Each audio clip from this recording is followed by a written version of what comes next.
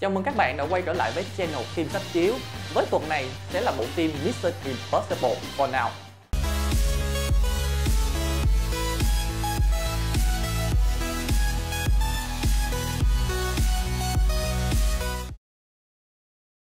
You don't understand what you're involved in. You need to walk away. Please don't make me go through you.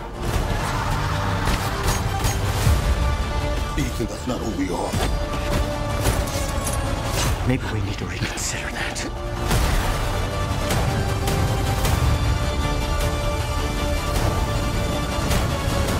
Accept it, Ethan. You've lost this one. What's done is done. What's done is done when we say it's done. Showtime. Oh my god.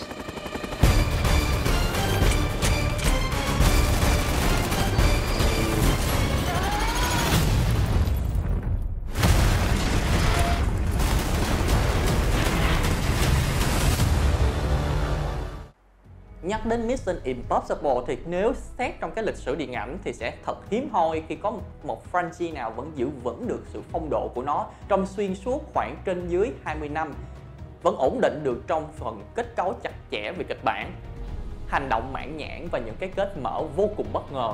Thật khó để có thể xác minh được sự nguyên nhân nào dẫn đến thành công của bộ phim, ngoại trừ một cái tên duy nhất đã gắn liền hai trong một với vai diễn, Tom Cruise và Ethan Hunt là phần phim thứ sáu nói tiếp nội dung của Chapter 5 Mission Impossible Rogue Nation.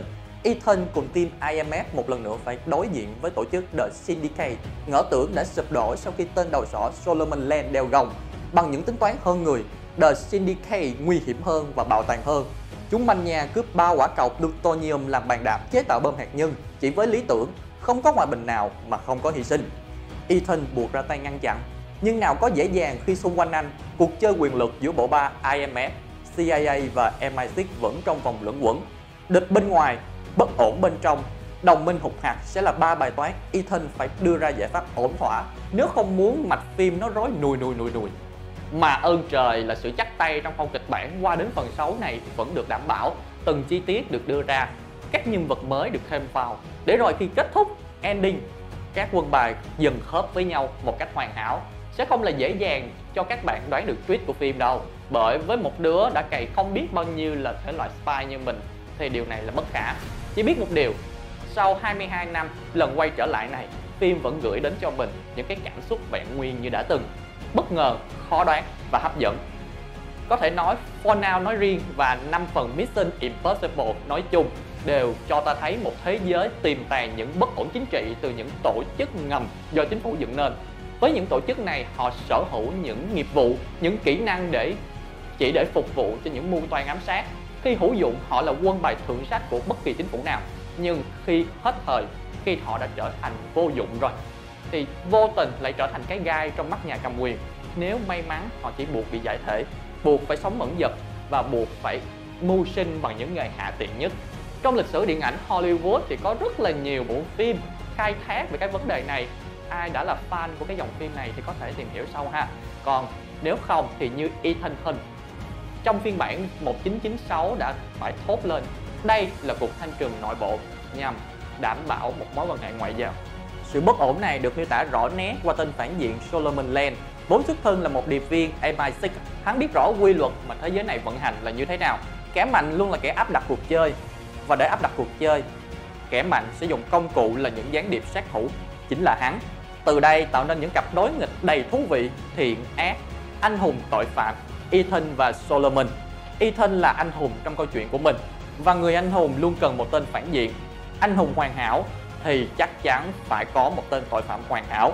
Solomon là gã ác nhân như thế.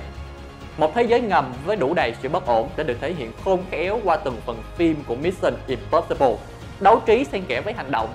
Trong For Now, các phân cảnh hành động vẫn luôn đặc sắc như nó đã luôn từng và có lẽ khi đánh giá về điểm số hành động của Tom Cruise, người viết chẳng biết mình có đủ trình để rating hay không. Bởi từng khung hình khi có anh, mình đều tin đó hoàn toàn là một Tom Cruise bằng xương bằng thịt, chứ không phải là một cascader nào.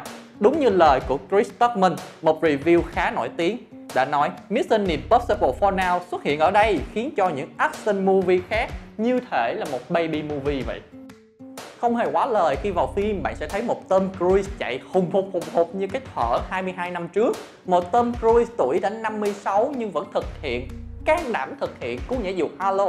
Ủa, vậy Halo là gì? Halo là một kỹ thuật nhảy dù quân sự. Với những người nhảy bình thường thì họ bung dù trong khoảng cách từ 20.000 đến 30.000 mét. Nhưng đối với Halo thì buộc phải bung dù trong khoảng cách 600 đến 700 Điều này mang lại rủi ro hết sức là lớn đối với tính mạng của người nhảy bởi sai một con số sẽ là đi cả 100 thậm chí vào cả quan tài. Cho nên làm được như Cruise mấy ai bằng? Ngay cả với những khán giả cách thời từ 8X, 9X đã theo dõi cái series này trong những năm 1996 cho đến bây giờ họ đã già thì tức Tom Cruise cũng đã già đòi hỏi chi ở một gã đàn ông tuổi trung niên luôn muốn tự mình thực hiện những phân cảnh hành động hùng một suốt 22 năm trời cơ chứ Nói chung, Mission Impossible là, lại là một phần phim thành công nữa của loạt phim này. Nó vẫn giữ nguyên được những tinh túy vốn có của Cruise, những màn đấu trí kinh điển của năm phần trước, cùng vô số những phân cảnh action mà có lẽ chỉ Tom Cruise mới càng đảm đóng chính. Phim phù hợp với tất cả những fan hành động, mà cho dù không phải fan, xem trước đi rồi thành fan cũng không muộn.